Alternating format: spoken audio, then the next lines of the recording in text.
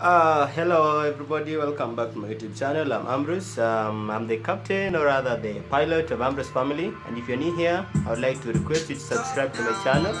Uh, if you remember, share the channel with your friends so that you can get more subscribers so that our family can be wide. Actually for today I didn't have much but I just wanted to let you know uh, one or two things which actually crossed my mind overnight. So one of the things that crossed my mind is um, the difference between our Kenyan youths and the American youths.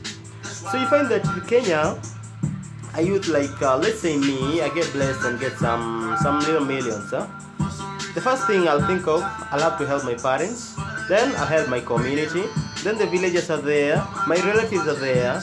But you see, like in America, these guys, I don't know, I don't know how they blessed they are, but uh, you find that when somebody gets some little millions, it's their personal money.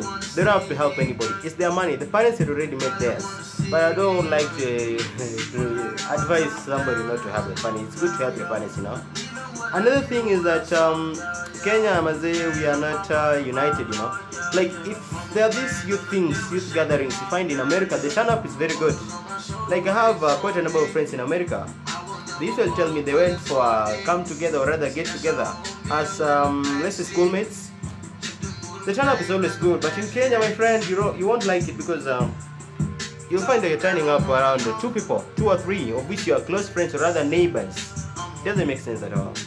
Uh, I think um, this might wrap up the part one of this video. Uh, I'm going to summarize or rather um, research more on the differences between the American youths and the Kenyan youths and compile it and make up the um, part two of this video. So I think uh, I'll sum up this video by saying uh, I don't know what I'm supposed to say, but uh, keep your comments coming, subscribe, like the video so that you can uh, see the next video immediately I post it up. Um, love you all. Peace out.